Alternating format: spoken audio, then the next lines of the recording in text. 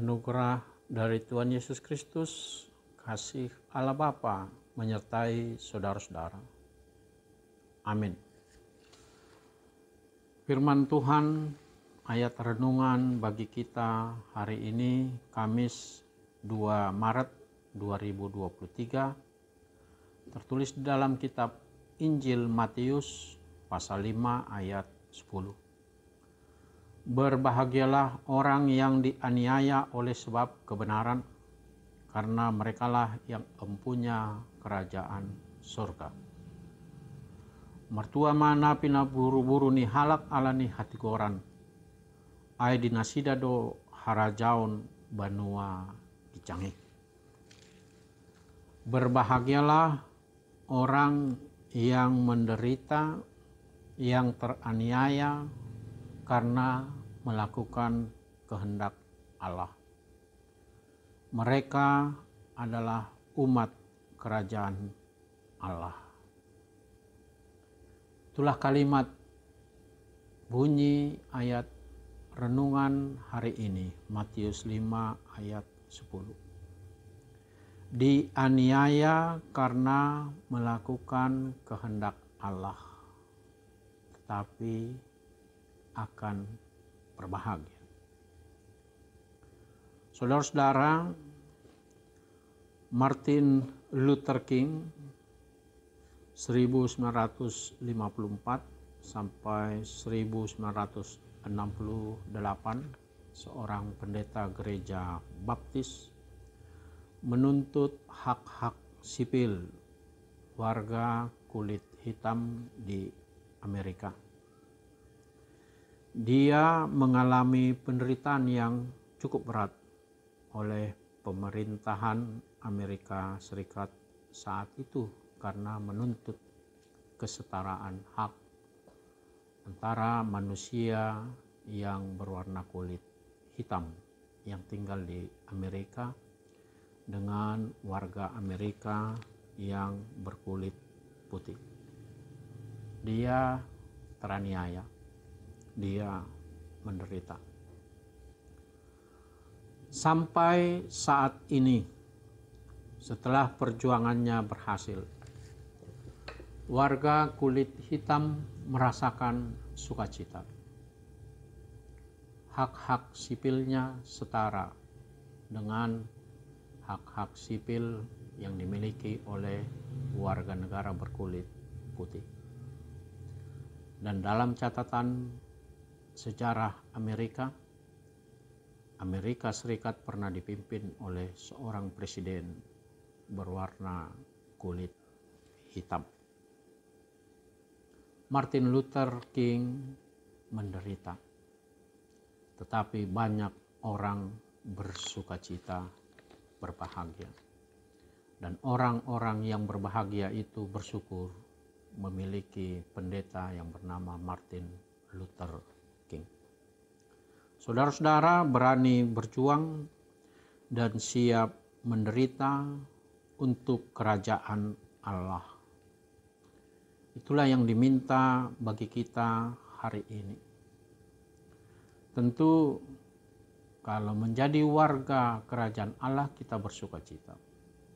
Tapi kalau dikatakan untuk itu perlu berjuang dan akan menderita tentu kita akan berpikir ulang bagaimana kita akan menanggung penderitaan itu. Kalau ringan-ringan saja, ya bolehlah. Tapi kalau berat, waduh, berpikir ulang. Persembahan kita yang diminta Tuhan adalah bagaimana kita memberi hidup kita bagi Tuhan.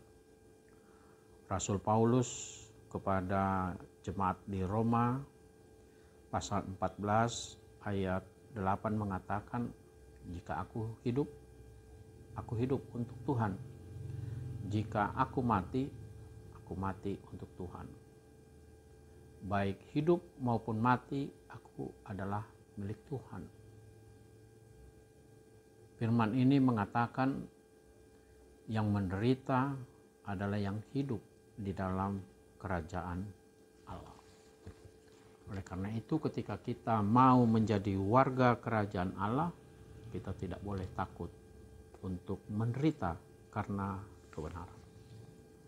Kita ambil contoh saja ketika ada teman kita, saudara kita, orang lain yang berkata tidak benar, kita bisa saja mengatakan kepada dia, sepertinya perkataan saudara kurang tepat, kita menasehati dia. Kalau dia tidak terima, ya tidak apa-apa. Itu bentuk penderitaan kita. Tetapi di hadapan Allah, kita adalah orang yang berbahagia karena kita berusaha untuk menegakkan kebenaran. Agar apabila terjadi kesalahan orang lain, kita membiarkannya, maka kita menjerumuskan mereka untuk tidak berbahagia. Tapi apabila kebenaran telah kita lakukan, maka orang lain pun akan merasakan kebahagiaan.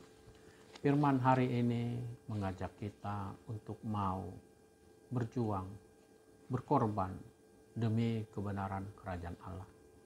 Banyak hal yang dapat kita lakukan untuk hal-hal kebenaran Allah. Apa yang tidak baik, apa yang tidak berkenan kepada Allah, kita usahakan menjadi baik.